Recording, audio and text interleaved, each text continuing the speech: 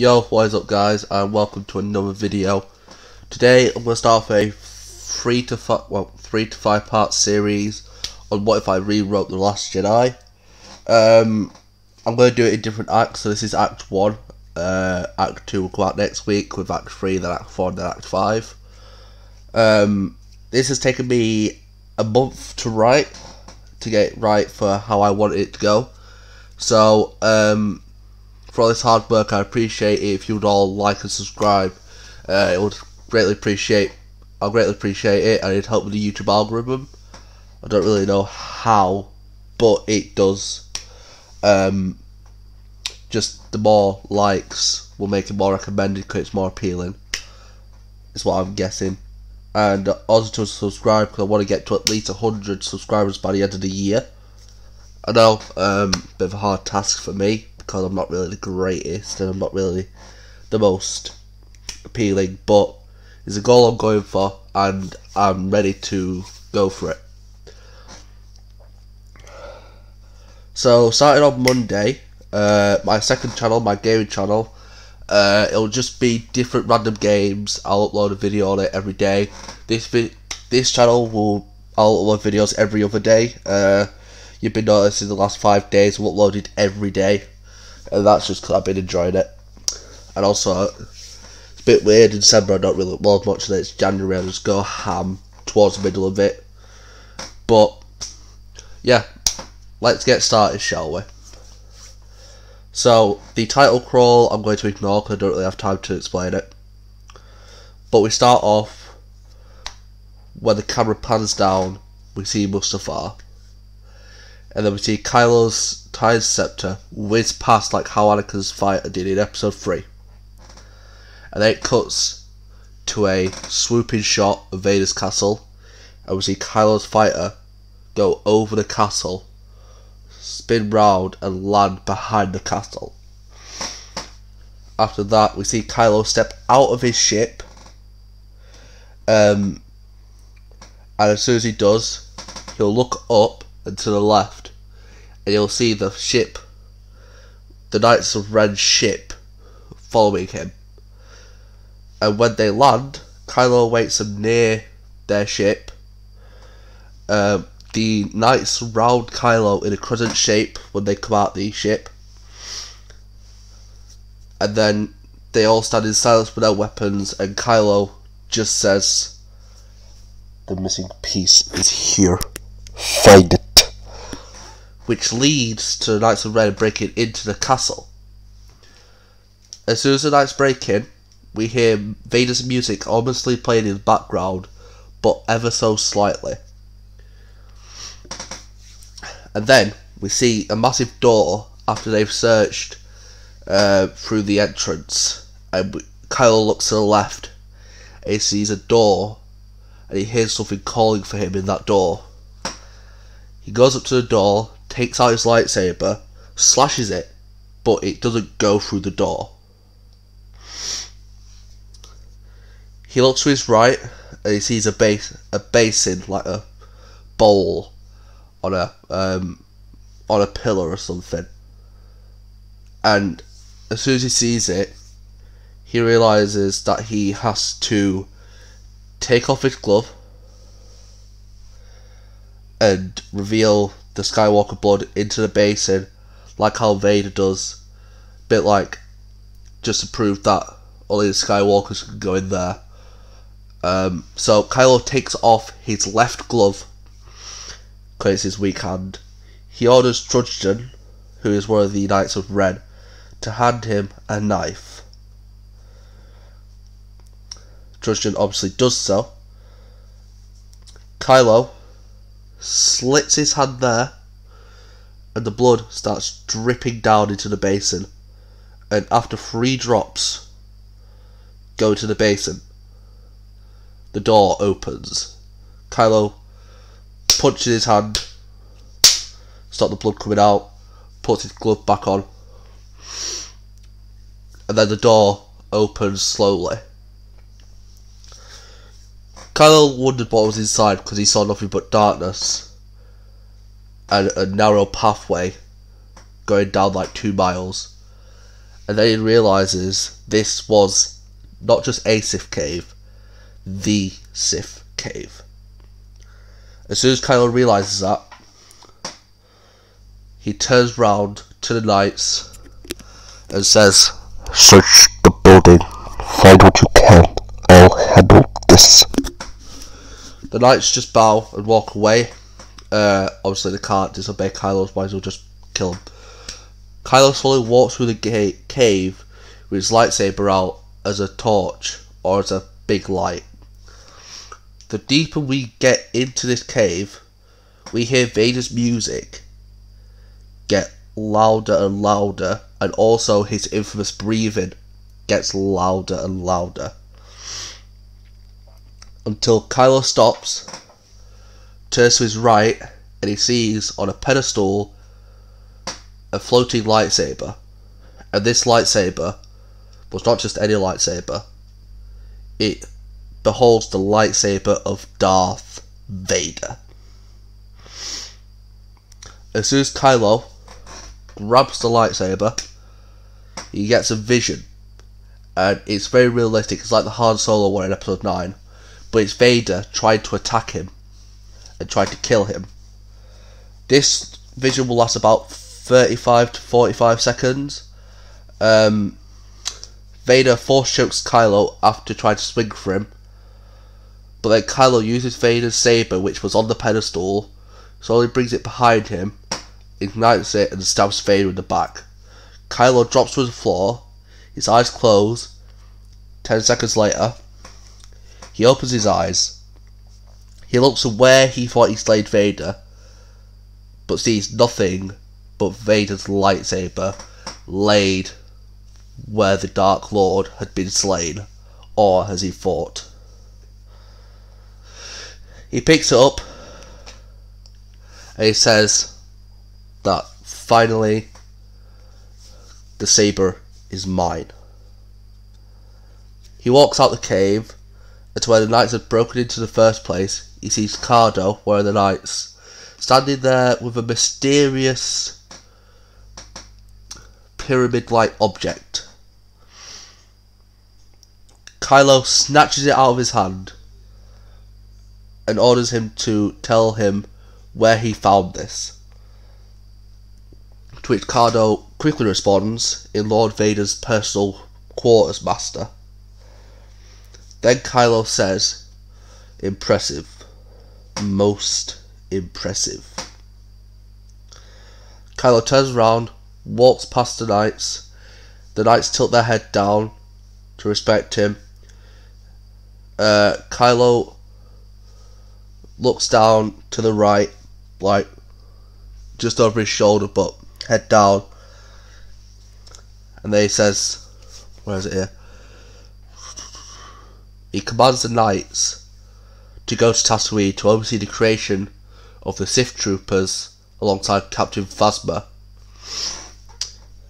Whilst Kylo goes to Snoke to try and deceive him of the loss of the holocron. But as we'll find out later, Kylo will need that for a more personal gain. And the only reason they went to Vader's castle is for the holocron, but Kylo went there for his own personal gain. After this, uh, this will be like that'll like ten minutes of the film. Uh, we cut to Rey and Luke as the way the Force Awakens. Rey holding out his lightsaber. Luke slowly takes a lightsaber, ignites it, holds it like Dooku does. So, like that.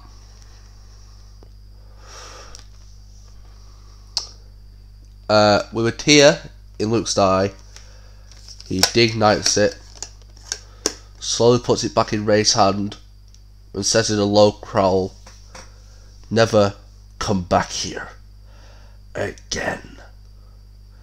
And he slowly walks, about, walks up the mountain of Act 2 with Rey following him. Luke bursts open his shack, and as soon as Rey goes through the door, we can see the pain of Luke, of what Luke's been suffering through the last 10 years, written all over the walls. It's just harrowing and just it's a nightmare, and that shows Luke's turmoil over the last 10 years.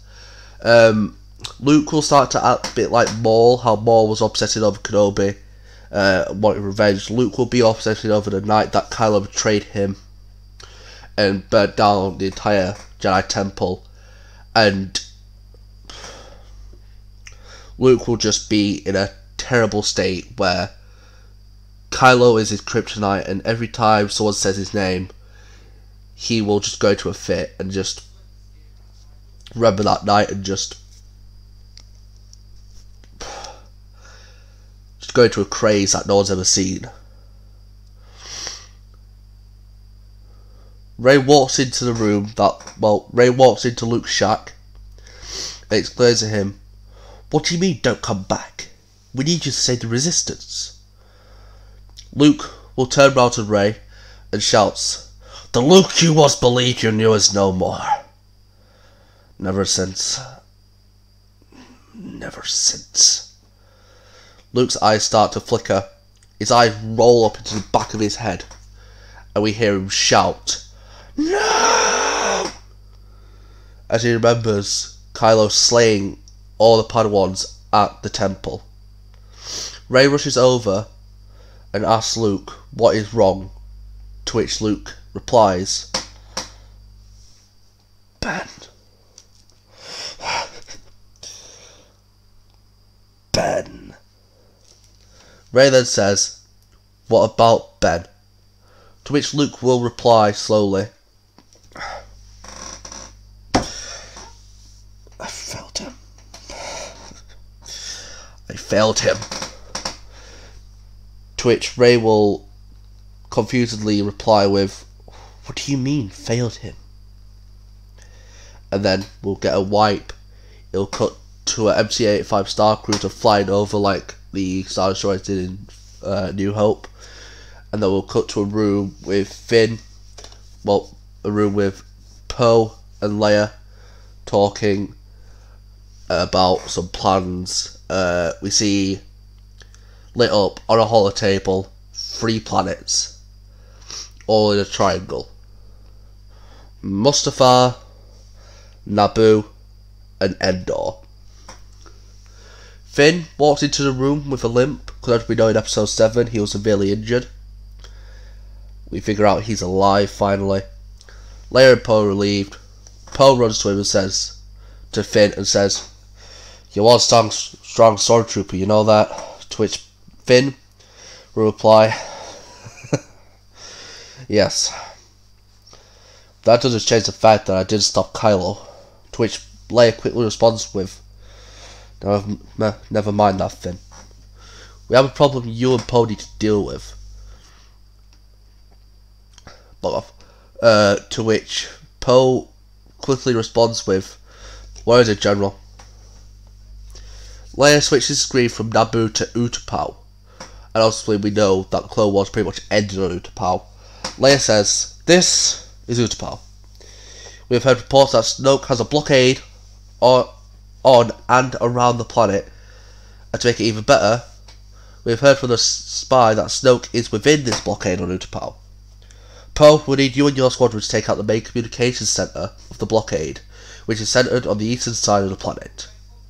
The eastern side of the planet is heavily armed with three Star Destroyers and two major ships which we cannot explain. But before this attack, I need you to join Finn and go to Tatooine.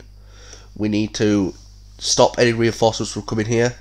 Uh, we've heard reports that Captain Phasma is on Tatooine overlooking the creation of something that should never have been created in the first place. And whatever this creation is, this will stop any chance of resistance fighting back against the First Order. This will pretty much annihilate the resistance if this creation comes into full force. To which Poe with confusion replies with, What is this creation? To which Leia drastically replies with, The Sith Trooper. Then we will cut to Kylo. He has entered the elevator.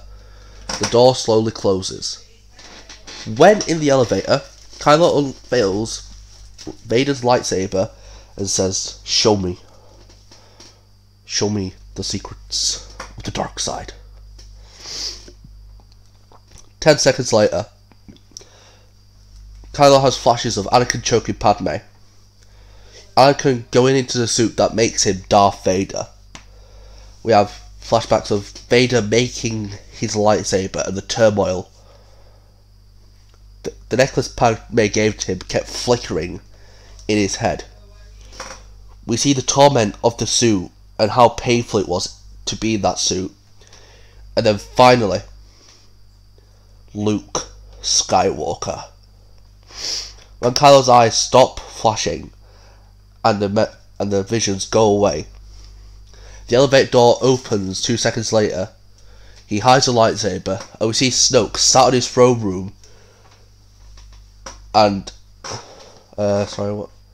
Sat in his throne room with eight Praetorian guards. Snoke is really menacing here, as he has pretty much recreated the room from The Last Jedi. Well, it's pretty much the room that they used in Last Jedi that they're going to use here. Um, Snoke shouts, Come forth, boy! As which Kylo steps out the elevator and walks up to about 10 metres away from Snoke. Kylo kneels and says, What is thy bidding, master? To which Snoke replies with, The tide of the Force is becoming unbalanced, and deception surrounds us. Kylo stands up and says, Who is trying to deceive us, master? To which Snoke replies with a low growl, You boy. To which Snoke shoots Kylo with a bolt of lightning. We hear Kylo screaming and Snoke shout, The holocron I requested, requested you to find is lost because of you. He stops the lightning and continues to speak. The reason it's lost is because you couldn't. It's not because you couldn't find it. No, it's because you did. And you tried to deceive me. Boy. Snoke stands up, walks up to Kylo, and says, I sense the holocron is on you. Give it to me. To which Kylo gently pulls it from his pocket and holds it out. Snoke with the Force pulls it from his hand and growls, You try to deceive me again, and I'll make you wish you were still the Padawan of Skywalker. To which Kylo slowly stands up and says, Understood. Kylo slowly turns round, walks into the elevator. The elevator closes. He pulls out Vader's lightsaber and activates it and starts slashing the elevator to bits. And then, as soon as the elevator opens, he goes on a rampage and kills about 20 stormtroopers. To which Kylo will then stop because Leia will reach out to him. And Leia will show him an image of when he was a little boy. Playing with Han in just in a very I think in a Star Destroyer, not a Star Destroyer, the MC85 cruiser that to Leia and Han. Just playing about for like five seconds and Kylo will snap out of it. He'll put the saber back in his pocket, walk to his room, and that is the end of Act 1. Now, though it ain't the greatest script, but uh, I thought I'd do this just to make it cool. Um, Act 2 will come out next Saturday. Uh, I can't wait for you to see, hear that. Um, so, to recap, Kylo has gone to Vader's castle, retrieved Vader's saber and the holocron. Uh, he tried to keep the holocron to himself for a purpose that we cannot explain yet. Rey tried to recruit Luke back to Resistance, but Luke had some mental turmoil because of the events of um, Kylo Ren and what he did. Um, I don't have a name for the night that Kylo did it. Uh, the Knights of the Shards, maybe. Um, and then also we figure out that um, Leia wants to eliminate Snoke immediately. Uh, she figures out there's a massive blockade on Utapau, which is where Snoke and Kylo currently are, as I've left it. Um, the Knights of Ren have got to go and help Phasma with the creation of the Sith Troopers. Uh, obviously, we saw in episode 9 as just Stormtroopers, but I'm going to make these some Force users, like a bit like the Temple Guards from the Republic, but just there's going to be like 200 of them. And if Finn and Poe fail to stop the creation, then the resistance will fall. Uh, Kylo tries to deceive his master with the holocron. Uh, Kylo gets beaten the shit out of with lightning. Uh, Snoke goes aggressive on him, uh, takes his holocron off him, but doesn't realise Kylo has the lightsaber of Vader. And if you want to figure out where Kylo will go after this, uh, where Luke will be, um, what will happen to all characters, stay tuned. Uh, thank you all for watching. Um, I hope this is a good script for you all. Leave comments down below what you think of it so far. Uh, I didn't want to put too much voice uh, lines in here. I just wanted to put the ideas out there.